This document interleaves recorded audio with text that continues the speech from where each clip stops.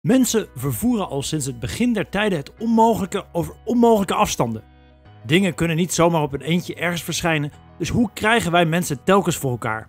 Hier zijn de 10 bizarste transportoperaties in de geschiedenis. Van een enorme walvis tot een kolossaal booreiland. Je zult versteld staan. Abonneer je op het kanaal en klik op het belletje zodat je nooit nog een video mist. 10. Het vrijheidsbeeld. Het vrijheidsbeeld, ook wel Statue of Liberty genoemd, is een beroemd standbeeld in New York. Het beeld staat symbool voor vrijheid en is geliefd door veel Amerikanen. Voor hen is vrijheid namelijk een van hun kernwaarden. Verder dient het beeld ook om mensen te verwelkomen, van terugkerende Amerikanen tot gasten en immigranten. Maar wist je dat het beeld eigenlijk een geschenk was van Frankrijk?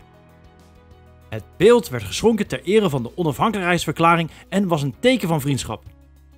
Op het beeld staat July 4 MDCCLXXVI. Dat betekent 4 juli 1776, de datum van de onafhankelijkheidsverklaring. De Franse beeldhouwer Auguste Bartholdi kreeg de eer om het ontwerp te maken. Het beeld is een representatie van de Romeinse godin Libertas. Haar kracht wordt gesymboliseerd met de losgemaakte kettingen aan haar voeten. En de zeven punten van de kroon staan symbool voor de zeven continenten en zeeën. Nadat het beeld klaar was, werd het in Parijs gedemonteerd en verpakt in 214 houten kisten. Dat is wel een heel ingewikkeld cadeautje. 9. JJ de Walvis. Als wij mensen naar een andere plek willen gaan, dan nemen we gewoon het vliegtuig. Maar wat als je een walvis bent die 8700 kilogram weegt en 9,4 meter lang is? Tja, dan wordt het wat moeilijker natuurlijk. Dit is JJ, het grootste dier dat ooit vervoerd werd. In 1998 bracht SeaWorld San Diego de jonge grijze walvis terug naar het wild. Ze had het beestje een jaar eerder op het strand gevonden. Toen was het aangestrande dier uitgehongerd, want het had daar meerdere weken gelegen. De dierenverzorgers brachten haar naar het dierenpark en zorgden goed voor de walvis. Maar tijdens haar verblijf groeide JJ ontzettend veel. Haar terug vrijlaten was dus niet zo makkelijk. Ze werd in een op maat gemaakte transportband gemonteerd en opgetild door een kraan die haar in een trailer legde. Een vrachtwagen trok de trailer vervolgens naar een haven waar ze opnieuw met een kraan werd opgetild. Zou het beestje verward geweest zijn, denk je? 8. 5 ton wegende olifant. Naast JJ worden natuurlijk ook heel wat andere dieren vervoerd. Deze 5 ton wegende olifant is er eentje van. Een ton is 1000 kilo, dus omgerekend is dat, juist ja, heel veel. Sinds 2016 verkoopt Zimbabwe enkele van zijn wilde dieren. Dit is nodig vanwege de verwoestende droogte die er de voedselbronnen van zowel mensen als dieren uitput. Leeuwen, impala's, zebra's en olifanten zijn enkele van de dieren die te koop worden aangeboden. Pangolins, pythons en neushoorns worden beschermd en kunnen niet legaal worden verhandeld.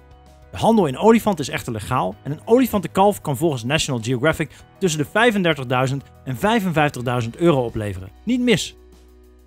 De olifanten worden in op maat gemaakte trailers vervoerd. Maar olifanten zijn best angstige dieren en een verkeerde beweging kan enorme gevolgen hebben. De chauffeur moet daarom heel traag rijden en goed oppassen. Zou jij het aandurven met een olifant rond te rijden? Laat het ons weten in de comments. 7. Legertanken. Alles wat je om je heen ziet heeft moeite gekost. Maar het bloed, zweet en tranen krijg je niet altijd te zien. Gelukkig dat je deze video bekijkt. Zo kom je te weten hoeveel werk er in al deze objecten kruipt. Vergeet je daarom niet te abonneren op het kanaal. Zo blijf je dagelijks nog veel meer interessante zaken bijleren. Heb je je bijvoorbeeld al eens afgevraagd hoe tanks vervoerd worden? Tanks worden alleen in het leger gebruikt.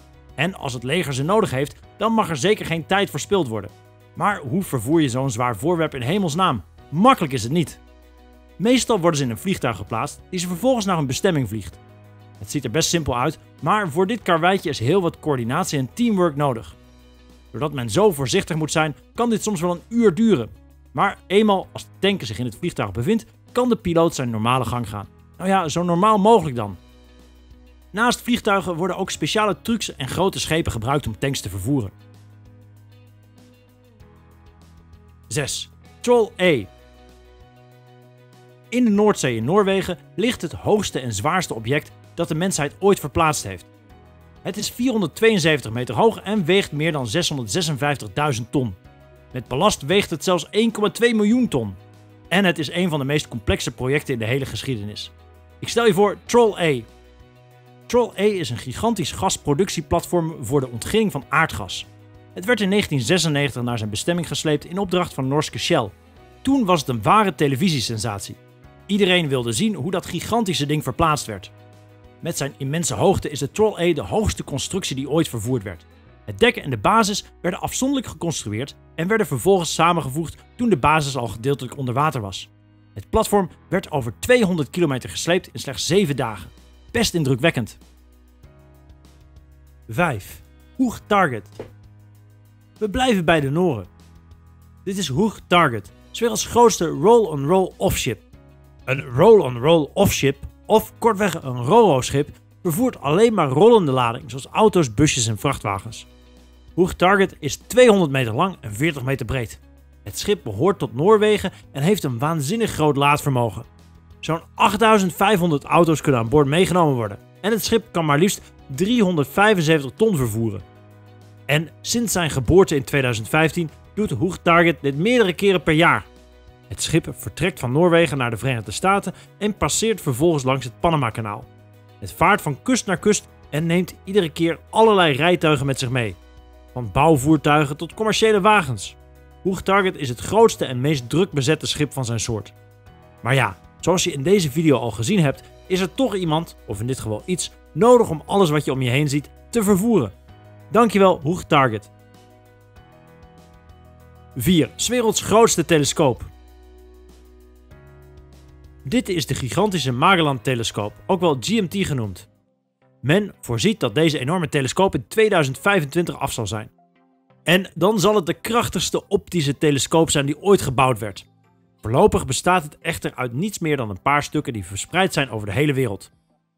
De meeste delicate onderdelen zijn de spiegels. De GMT heeft er 7 en elk spiegelstuk is bijna 9,5 meter breed. Eentje van werd al voltooid en begon aan een lange reis naar Chili, waar de telescoop geplaatst zal worden. De spiegels worden gemaakt in Arizona en worden vervolgens per vrachtwagen en boot naar Chili verscheept. Maar dat is een lange weg en de spiegels zijn ontzettend breekbaar. Ze zijn ook heel zwaar en wegen 17 ton. En bovendien zijn ze ook duur. Elk stuk kost meerdere miljoenen dollars. Dat wil je dus niet zomaar eventjes op de grond laten vallen. De hele spiegel moet in de lucht worden gehezen met gigantische zuignappen die gehecht zijn aan het gladde oppervlak van de spiegel. Vervolgens wordt het voorzichtig in de transportcontainer neergelaten. Brusk te werk gaan is hier niet mogelijk.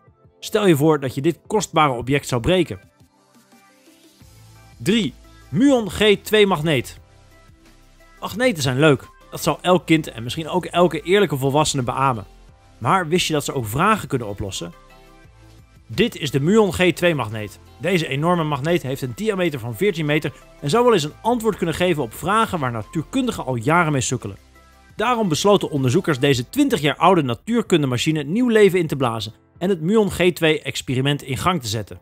Om het experiment uit te kunnen voeren, moest de magneet in het bezit zijn van het Fermilab. Het Fermilab is een Amerikaans nationaal onderzoekscentrum dat gespecialiseerd is in hoge energiefysica. Het is de Amerikaanse tegenhanger van het Europese CERN. En aangezien het 10 keer meer zou kosten om een volledig nieuwe machine te bouwen in plaats van de magneet te verplaatsen, besloot het Muon G2-team de grote kwetsbare magneet naar Chicago te brengen, waar het Fermilab gevestigd is. Hiervoor moesten ze het ding zorgvuldig over land en zee naar zijn nieuwe huis vervoeren, dat maar liefst 5149 kilometer ver verwijderd was. Dat moet niet makkelijk geweest zijn. 2. Ruimteschip. De ruimtewedloop, ook wel Space Race genoemd, is de competitie die de Verenigde Staten en de Sovjet-Unie met elkaar voerden om de verovering van de ruimte. Het liep ruwweg van 1957 tot 1975. Het woord ruimtewedloop is een verwijzing naar de term wapenwedloop. De wedstrijd werd al snel onderdeel van de grotere culturele en technologische machtsstrijd tussen beide partijen. En zowel de VS en de USSR deden hun uiterste best om de andere te overtroeven. Rond 1970 besloot het Amerikaanse Bureau voor de Ruimtevaart, ook wel NASA genoemd, dat het tijd was om een doeltreffender transportmiddel te vinden dan de kostbare wegwerpraketten die ze tot nu toe gebruikten. Zo kwamen ze op het idee om een Space Shuttle te bouwen. Dit transportsysteem kan vele malen gebruikt worden, aangezien het ook weer terug kan worden gehaald. Maar het bouwen van een Space Shuttle is natuurlijk geen makkie. Het bestaat uit allerlei verschillende onderdelen waarvan sommige waanzinnig groot zijn, zoals de Orbiter, het vliegtuigachtige ruimtevoertuig. Om hun Space Shuttles vlugger te kunnen bouwen, moesten deze belangrijke onderdelen sneller verplaatst worden. Daarom liet NASA twee Boeing 747 vliegtuigen verbouwen tot SCA's of Shuttle Carrier Aircrafts. Ze zien er best schattig uit samen, niet? 1. Enorm booreiland. De wereldbevolking groeit razendsnel en zal ook verder blijven stijgen. Op dit moment telt de wereld meer dan 7 miljard mensen. Dit betekent dat er ook steeds meer middelen nodig zijn om al deze mensen in hun behoeften te voorzien. De wereld van vandaag draait op olie en dit is dan ook een middel dat erg gekoesterd wordt. Van kolossale offshore oliebronconstructies tot het vervoeren van olie zelf. Het winnen van olie zou kunnen worden beschouwd als een menselijk wonder zoals de piramides van Egypte dat waren. Het is zeker waar dat we allemaal ons best zouden moeten doen om minder olie te verbruiken, maar dat moet je er niet van weerhouden dit transportwonder te bewonderen. Kijk gewoon eens hoe enorm dit ding is. Het lijkt in eerste instantie misschien niet zo groot, maar dit booreiland, Bullwinkle genaamd, is een van de hoogste structuren ter wereld. Bullwinkle weegt 49.375 ton en heeft een waterdiepte van 412 meter. En toen het werd geplaatst in 1988, werd het destijds erkend als de hoogste constructie ooit gebouwd. Had jij al eens bij stilgestaan hoe al deze enorme objecten vervoerd worden? Laat het weten in de comments. Wil je nog meer interessante zaken te weten komen? Abonneer je dan op het kanaal en klik op het belletje. Tot morgen in de volgende video.